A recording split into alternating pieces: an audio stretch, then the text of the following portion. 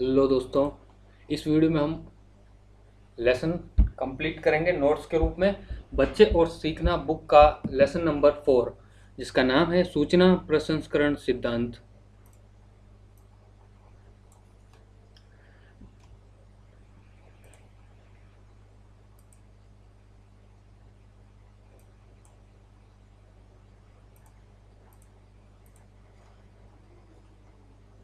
बच्चे किसी कार्य को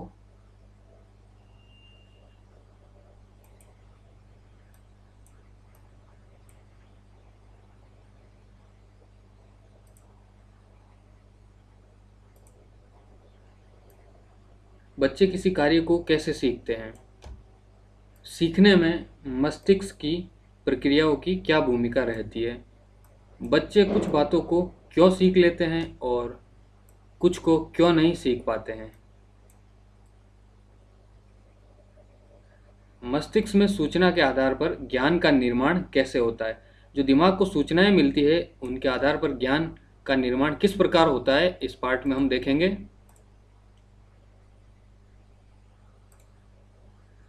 वातावरण में उपस्थित विभिन्न प्रकार के उद्दीपक, यानी उद्दीपक को यहाँ पर हम सिचमूल्स कहते हैं।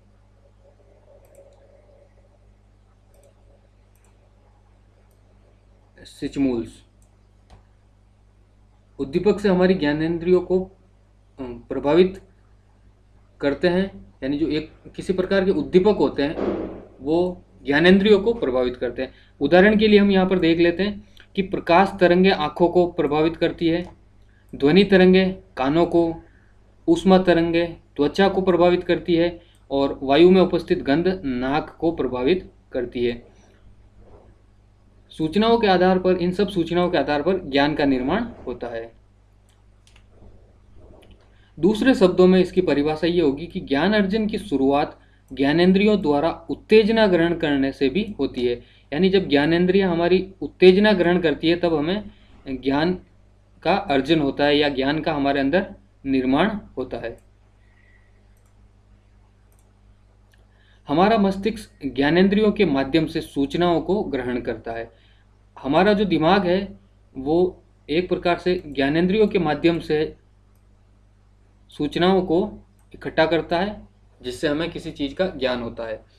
अब मस्तिष्क को तीन भागों में बांटा गया है। हमारे दिमाग है, उसको तीन भागों में बांटा गया है। हमारे दिमाग को वो तीन भाग कौन कौन से हैं? पहला है प्रमस्तिक, दूसरा है मध्य मस्तिष्क या जिसे अनुमस्तिक कहते हैं। तीसरा है मेडुला ओब्लोगेटा। प्रमस्तिक, अनुमस्तिक और मेडुला ओब्लोगेटा।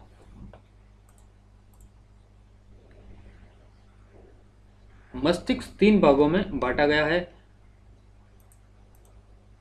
प्रमस्तिक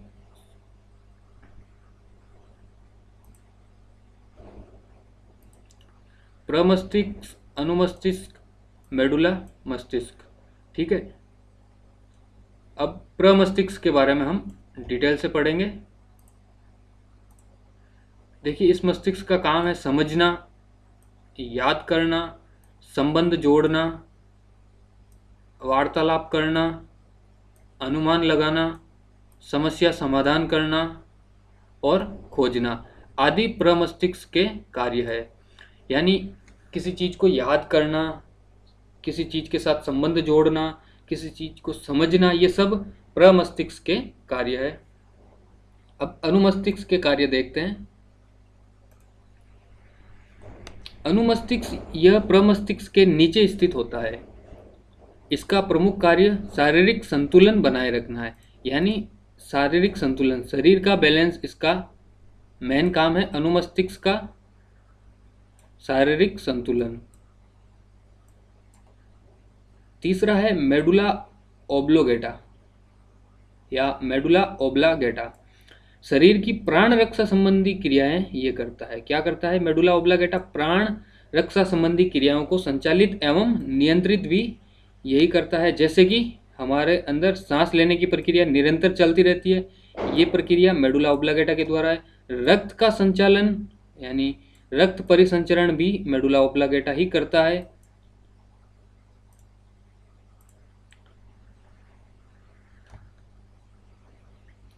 अब यहाँ पर हम मस्तिष्क की कुछ आकृति देखते हैं।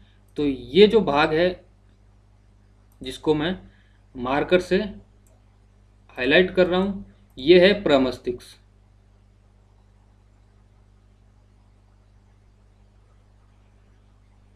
यानी आपकी खोपड़ी में जो ऊपर तक भरा हुआ है वो पूरा, ये ये है आपकी खोपड़ी।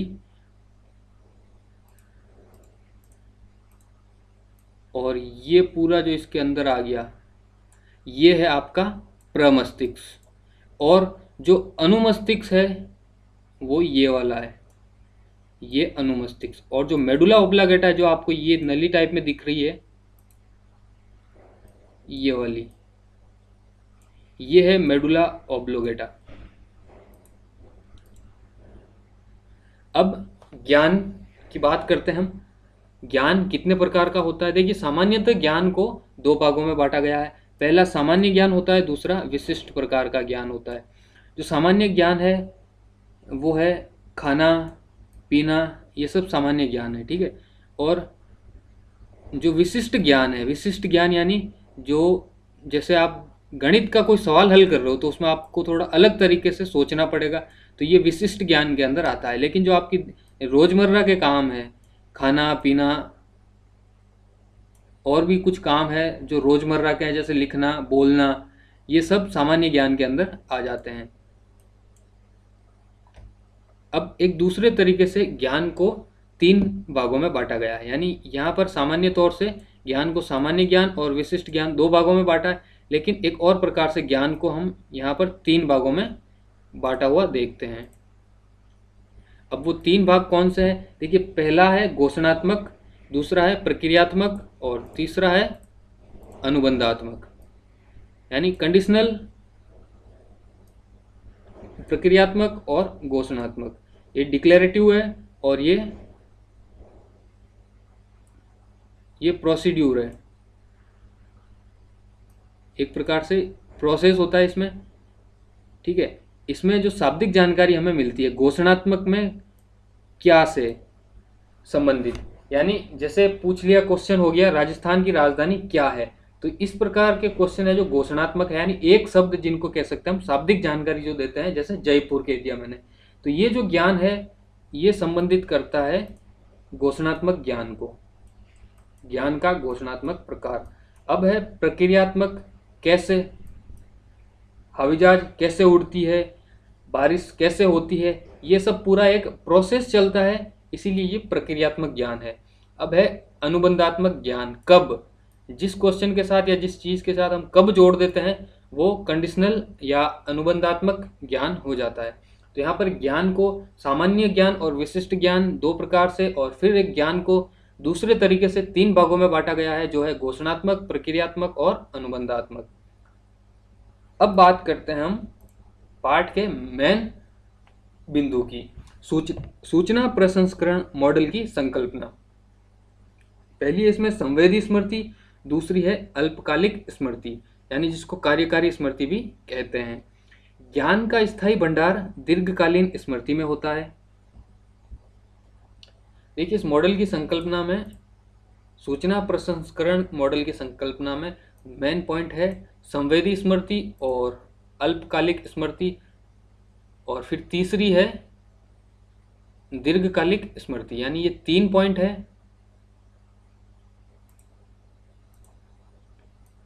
पहला ये हो गया, दूसरा ये हो गया और तीसरा ये पॉइंट है। दीर्घकालिक स्मृति, अल्पकालिक स्मृति और संवेदी स्मृति। सूचना प्रसंस्करण मॉडल की ये तीन बिंदु मुख्य है।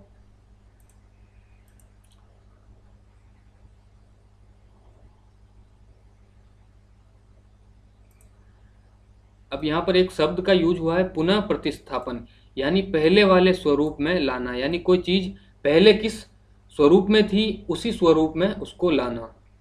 उसको कहते हैं पुनः प्रतिस्थापन। अब दो मनोवैज्ञानिक है, एक है एटकिंसन, दूसरा है सिफरीन। ठीक है?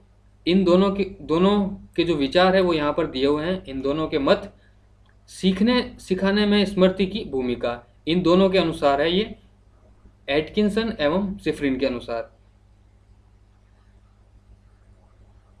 अंतर्निहित स्मृति, जैसे कि साइकिल चलाना लिखना और पढ़ना, ये सब अंतर्निहित स्मृति के अंदर आते हैं। लेकिन जो स्पष्ट स्मृति है इनके अनुसार, वो जैसे किसी से चार बजे मुझे मिलने जाना है तो ये हमेशा आपको याद रखनी पड़ेगी, यानी स्पष्ट रखना पड़ेगा आपके अंदर के इतनी तारीख को मेरा एग्ज़ाम है।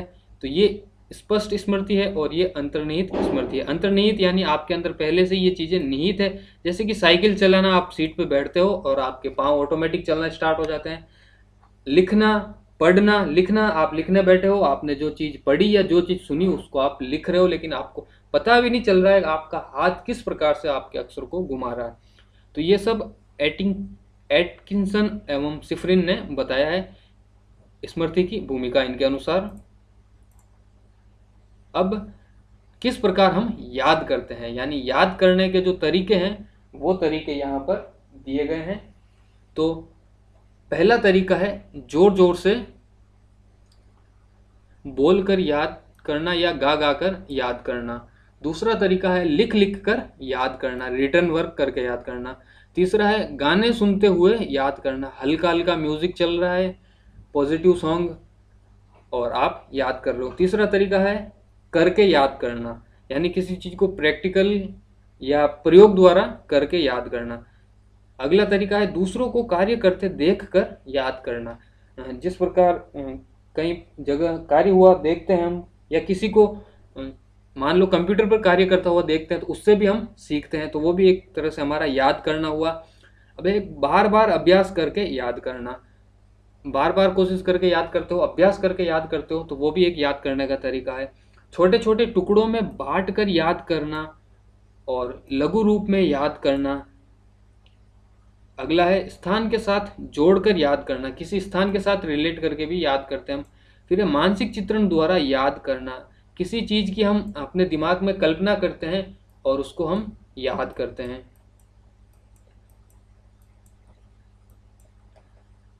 अगला है, रटना। रटना भी याद करने का एक तरीका है। फिर है समझ कर याद करना। किसी चीज़ को समझ लेना। फिर है, साहचर्य विधि द्वारा याद करना। यानी किसी चीज़ को किसी के साथ रिलेट करके याद करना। यानी जिस प्रकार आप ट्रिक का प्रयोग करते हो, उस, वो भी यहाँ पर कह सकते हैं। जैसे इंद्रधनुष के सात रंग जो होते हैं, उन सात रंग को आप याद करते हो तो उन सब के आगे के एक एक शब्द को आप जोड़कर एक नया शब्द बना देते हो, जिन जिसके अंदर सात शब्द होते हैं। पहले शब्द से एक रंग, दूसरे से दूसरा रंग, तीसरे से तीसरा, चौथे से चौथा, पांचवे से पांचवा, छठे से छठा, सातवें सातवा। सातों शब्दों से सातों रंगों का आपको अनुमान लग जाता है। तो ये साहचर्य विधि के अंदर आता है। अब है संकेतन विधि। इसके अंदर आप कह सकते हो, जो आप ट्रिक यूज़ करते हो पढ़ाई में, वो संकेतन विधि के अंदर आ जाते हैं। अब है याद को प्रभावित करने वाले कारक। अभी हमने देखा था, याद करने के बिंदु थे ये सब, अब है, इसको प्रभावित किया गया कारक करते हैं। मुख्य रूप से याद करने को प्रभावित करने वाले दो कारक है, और पहला कारक है व्यक्तिगत कारक, दूसरा है बाह्य कारक। अब जो पहला कारक है, उसके यहाँ पर दो भाग है। पहला है मनोवैज्ञानिक कारक और दूसरा है शारीरिक कारक। देखिए, व्यक्तिगत कारक के अंदर दो दो भाग है। पहला है मनोवैज्ञानिक कारक, जिसके अंदर आता है आप आपकी रुचि आपके संवेग, आपकी प्रेरणा और आपकी बुद्धि। जो शारीरिक कारक है, उसके अंदर आता है आयु, थकावट, ये सब शारीरिक कारक के अंदर आते हैं। जो मनोवैज्ञानिक कारक है, उनमें आप रुचि एवं अभिक्षमता दोनों को देखोगे। संवेग और मनोभाव, प्रेरणा यानी मोटिवेशन और बौद्धिक क्षमता, ये सब मनोवैज्ञानिक कारक है, जो याद को प्रभावित करते हैं, आपके याद करने की क्षमता को प्रभावित करते हैं। शारीरिक कारक के अंदर आपकी परिपक्वता, आपकी आयु और आपकी थकावट आती है। अब जो दूसरा पॉइंट है, बाह्य कारक। वो है सीखने सिखाने की विधियाँ, यानी टीचिंग मेथड कह सकते हैं जिनको। विषय वस्तु की प्रकृति, आप कौन सा सब्जेक्ट पढ़ रहे हो, कौन सा टॉपिक पढ़ रहे हो, ये सब भी आपके सीखने पर डिपेंड करता है और ये बाह्य कारक के अंदर आते हैं। वातावरण, आपका वातावरण कैसा है? आपका समय किस टाइमिंग के अनुसार आप पढ़ रहे हो, आप ज़्यादा थके हुए तो नहीं हो, आपका टाइमिंग कैसा, उस पर समय भी याद को प्रभावित करता है, आपके याद करने की पावर को। अब है हम भूलते कैसे हैं हाउ वी फॉरगेट भूलना एक ऐसी प्रक्रिया है जिसके द्वारा हम पूर्व में कोई भी बात सीखी हो जो वर्तमान चेतना चेतना में लाने में असफल हो जाते हैं। यानी पुनः स्मरण एवं पुनः पहचान नहीं कर पाते हैं। किसी चीज़ को हम वापस रिकॉल नहीं कर पाते हैं तो ये एक तरह से भूलना है। अब, स्मरण और विस्मरण दोनों ही उपयोगी एवं महत्वपूर्ण प्रक्रिया हैं। अब महत्वपूर्ण कैसे हुई? देखिए स्मरण तो मान लिया हमने, महत्वपूर्ण है याद करने के लिए, लेकिन विस्मरण यानी किसी चीज़ को भूलना कैसे उपयोगी है? तो ये इस प्रकार उपयोगी है कि गलत उच्चारण, अशुद्ध लेखन आदि को दूर करने में भूलना ही सहायक होता है। आपने किसी शब्द को गलत याद कर लिया, गलत मात्रा लगा दी तो उसको आपके लिए भूलना भी ज़रूरी है और सही तरीकों को याद करना भी ज़रूरी है। तो जितना याद करना ज़रूरी है, उतना भी भूल जाना भी ज़रूरी है हमारे लिए। गलत आदतों को छुड़ाने में भी विस्मरण अत्यंत सहायक है। यानी मान लो आपके कोई गलत आदत है तो उस आदत को छोड़ने में भी, उस आदत को आप जब तक विस्मरण नहीं करोगे, यानी भूलोगे नहीं, तब तक वो छूटेगी नहीं। तो यहाँ पर ये चौथा पार्ट जो था, जो नोट्स के रूप में मैंने आपको प्रोवाइड किया है अच्छा लगा हो तो वीडियो को लाइक दे दीजिए और थैंक यू ऐसे ही वीडियो देखते रहिए हमारे चैनल पर।